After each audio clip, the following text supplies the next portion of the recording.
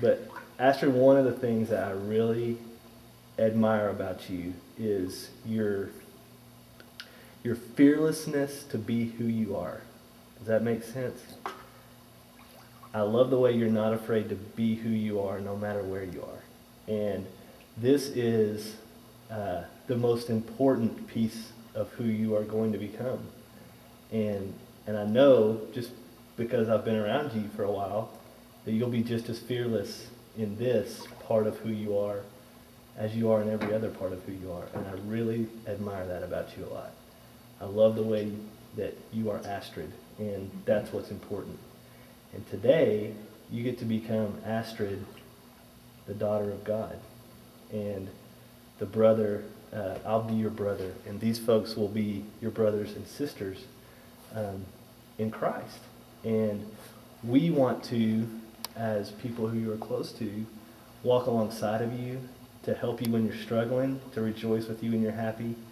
And as being part of a family together, we expect you to do the same for us. And I'm excited to be standing here with you, and I cannot wait um, to see what God does with you. I can't wait to see what God does with your video and the testimony that that sends across the world. Um, you, you have an, an opportunity and a,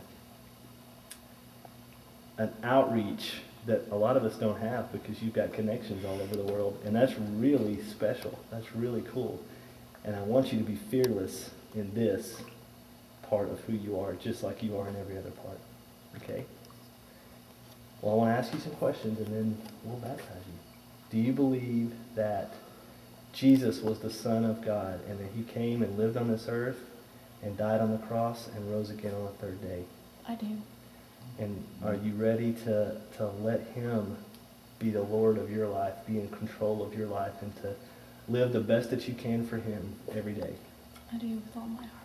Awesome. Well, based on that, I want to baptize you in the name of the Father, and the Son, and the Holy Spirit for the forgiveness of your sins and uh, so that God's Holy Spirit can come and live inside your heart and, and keep you the fearless person that you are.